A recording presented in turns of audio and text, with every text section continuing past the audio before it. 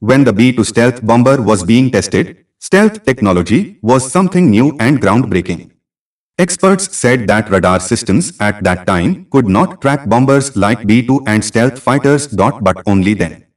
Now in 2021, Chinese researchers claim that they are developing quantum radar technology that can detect stealth aircraft by generating a small electronic storm. According to Interesting Engineering magazine, this is not the first time researchers from China have made big claims about a workable quantum radar system and many experts from other countries have started.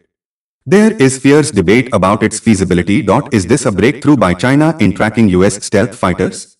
It should be remembered that every weapon sooner or later encounters its evil system, so it is not uncommon for stealth fighters to be discovered one day.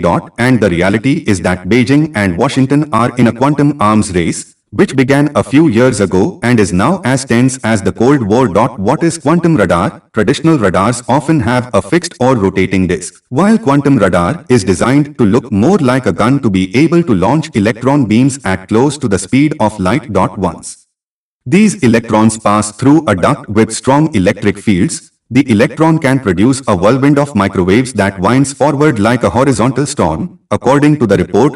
If successful, a quantum radar system would theoretically outperform any radar system in the past, but that's only an if, according to Zheng Chao and his research team from Tsinghua University, China. However, the benefits that this technology brings are worth the effort. The more advanced the stealth technology, the greater the benefits from the quantum radar system, the team added. And quantum radar not only has an extremely wide range, but is also unaffected by extreme weather. If deployed in contested areas, quantum radar could create a great advantage for its owner. Stealth fighters like the F-22 Raptors or the F-35, for example, are capable of absorbing large amounts of radar waves through a special covering material, which when combined with an external design optimal micro can reduce its signal on the radar screen. However, in recent years, military radar technology has been significantly upgraded. They have enhanced sensitivity, high enough to be able to detect stealth aircraft.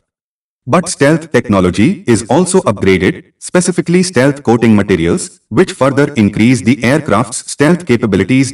In general, stealth is like a two-way street, both it and the technology against it have been upgraded. And if stealth technology continues to improve, some believe it will surpass the capabilities of any radar system. Of course, this is just an opinion. Not a fact. Thank you everyone for watching this video.